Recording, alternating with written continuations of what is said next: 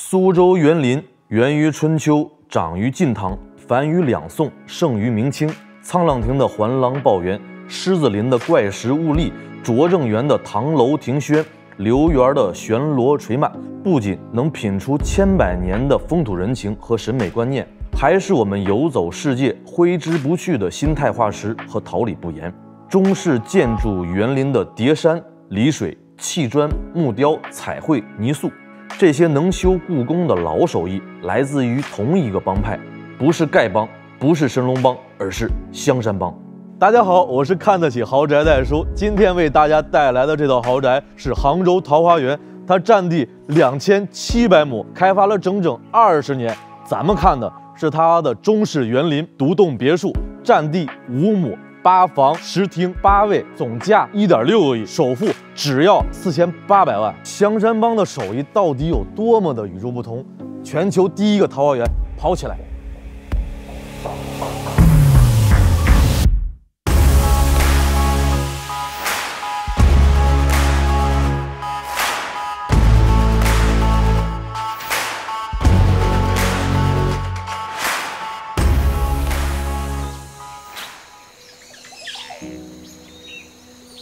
讲究的入户大门，不仅要坐北朝南，还得搭一对石狮子，再养一套红花积木。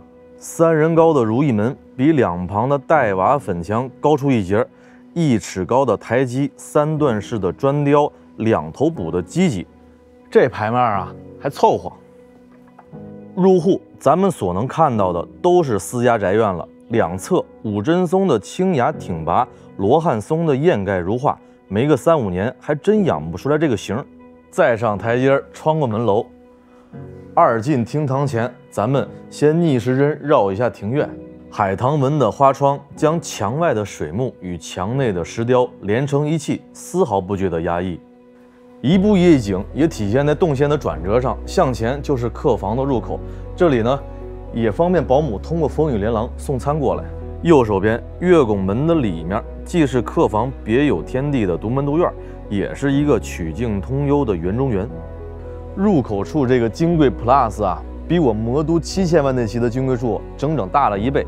寓意呢，我到北院再说。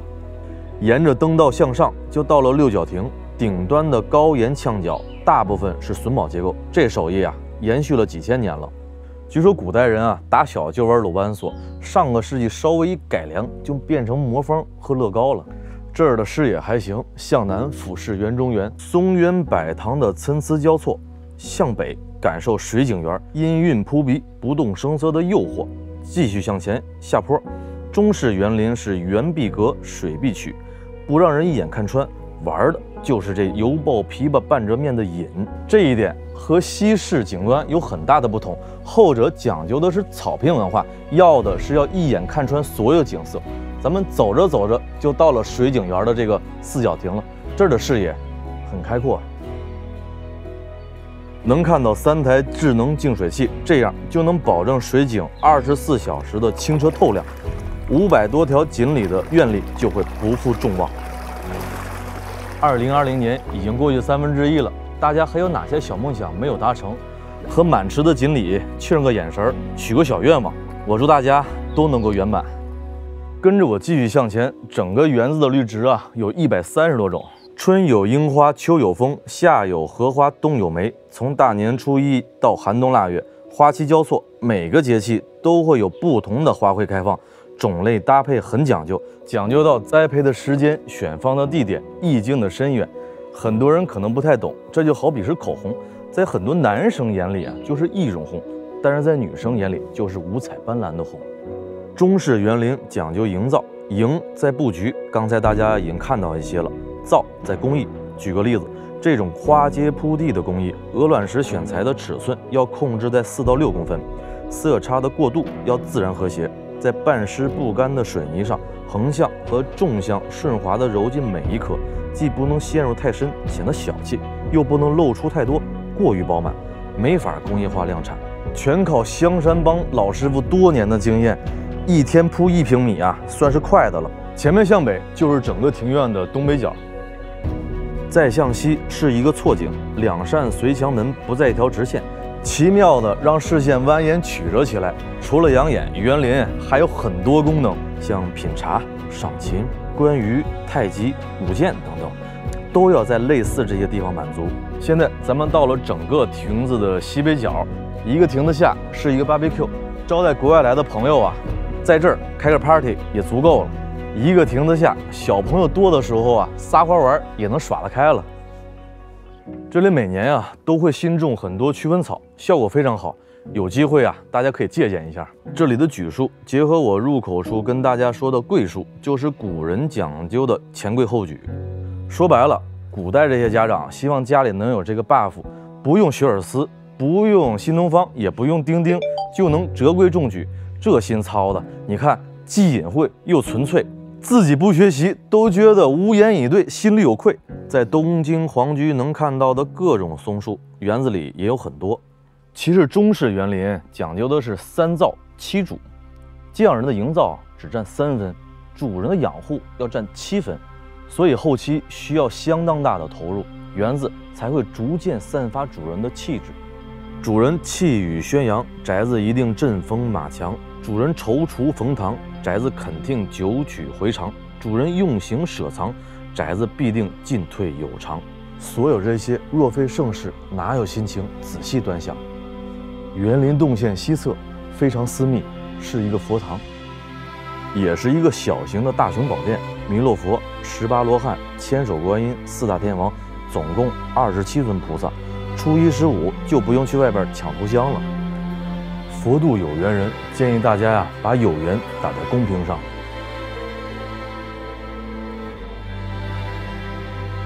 前面是家里的停车场，停个七八辆应该问题不大。一圈园林看完，咱们回到刚才二进厅堂的入口处，接下来正式进入到室内部分。入户玄关屏风是整面的花开富贵的双面绣，嵌了整圈的七彩朱雀琉璃的边框，可以换两辆特斯拉了。绕过屏风的立面是偏厅，分列两侧的四幅瓷板画出自清代。能让八仙过海做陪衬的是居中的这个如意形状的九龙献宝。八十年代啊，拍卖来的这种按克计价的小叶紫檀，一般都应用在手串或者是文玩上，搁这么大一摆件，缺点就是太沉了。如果包浆，每天是我盘它呢，还是它盘我呢？嗨，盘累了，出偏厅向里就是这个挑高七米的主客厅，两吨重的金包玉吊灯散发的光润，显得整面金丝楠木的背景墙上三潭映月栩栩如生。再配上中规中矩的定制版的红木家具，让每一件雕刻瞬间的灵动起来。百子迎浮图的喜庆，延年福寿禄的礼敬，缘起祥吉瑞的心性，这种待客之道啊，简直身临其境。各位小伙伴，答应我，这次一定。客厅的小亮点是支棱 N 年的石笋，天然的浮点，凉爽的体感，把玩之后感觉简直是风和日暖。往里走，穿过过道。就是连环餐厅，中间用多宝格连接三套红酸枝的餐桌椅，大户人家三十多口啊也能坐得下了。一家人最重要的是整整齐齐。和国外的麦当劳快餐文化不同，国人讲究的是八大菜系文化：煎炒烹炸煮炖焖腌卤酱拌生烤蒸。厨房啊到处都是这种整面的收纳柜，里边是保镖保姆的生活区。咱们就不看了。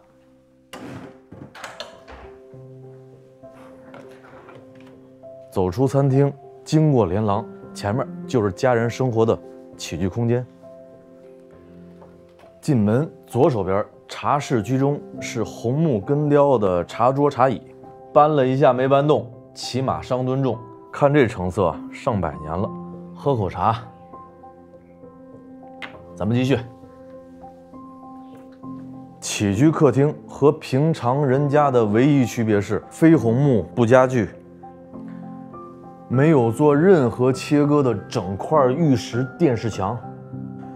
为了照顾隐私，里边的卧室啊，咱们就不一一打开了，先下楼。这种凹平结合的皮质墙面，最大的好处是可以消灭回音，让空间不会觉得过度空旷。到了地下室，酒吧台。虽然没啥牌面，但是你想用的时候还非常实用的。右手边进来就是个泳池，无论是尺寸还是氛围都刚刚好。按摩浴缸、桑拿房、切片玛瑙贴上墙，红酒窖旁白酒窖，朴实无华且枯燥。枯燥有很多缺点，你比如说张三酒后游泳很危险，怎么办呢？要终止这种行为，必须啊要配上这个卷帘门，将张三与酒与泳池尽量的隔离开。大家如果有更好的办法，可以给我留言。咱们继续。地下室另外一侧，穿过台球厅就是第二茶室，更加的私密。谈谈索尼要不要继续增持，聊聊豪宅要不要相关直播，想想抽奖啊，是不是抽套房子最好没有人来打扰。七米长原始红木的老茶台后边是整面墙的金丝楠木根雕，形成了一个天然形态的博古架，相当凑合。这套上千年的收藏级家具啊，没人能够拥有，最多替后代保管一下，可以轻松买上期万历那套房子了。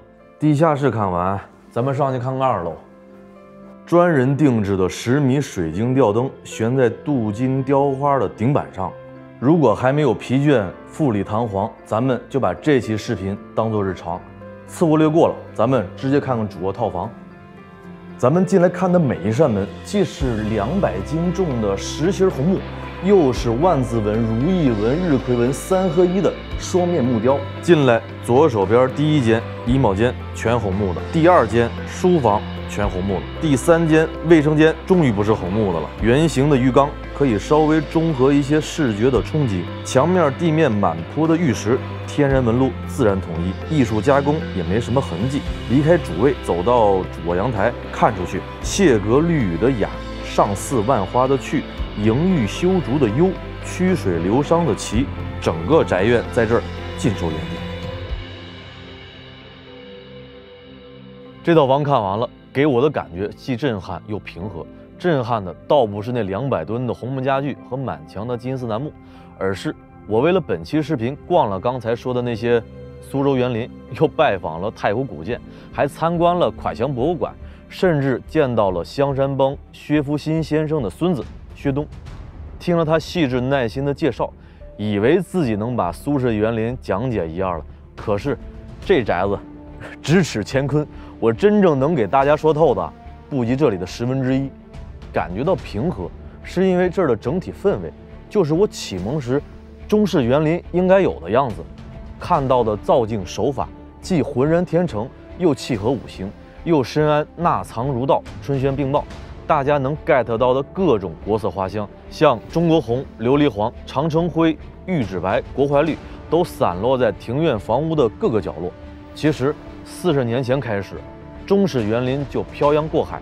从亚洲到美洲，从欧洲到澳洲，新加坡的运秀园、慕尼黑的芳华园、纽约的明轩、悉尼的怡园，还有很多很多。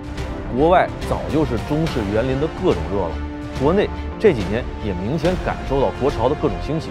从非耐克、阿迪不买，到追捧李宁的悟道、匹克的太极；从抢购冷妹神仙水，到热销的花西子完美日记。从夹道欢迎的欧美古典风到年轻人最爱的简约新中式，这背后是什么？这不仅是国人对自己的民族更认可，随着中文已成为联合国六大官方语言之一，全世界对咱们也更认同。A B C 离我们越来越近，文字数码化，书籍图像化，阅读网络化，信息视频化，不同的地域文化相互交融的时间越来越快。我们不忘本来，才能开辟未来；善于继承，才能更好的传承。只有对咱们自己的文化足够的自信，才能够对未来足够的包容。一花独放不是春，百花齐放春满园。将你我的坚守传递出去，国家更有力量，民族更有希望。好了，这就是本期视频的全部内容了。如果觉得不错，请记得长按点赞三连。还想跟我看更多豪宅的小伙伴们，记得关注我。我是爱叔，豪宅就这么回事咱们下期见。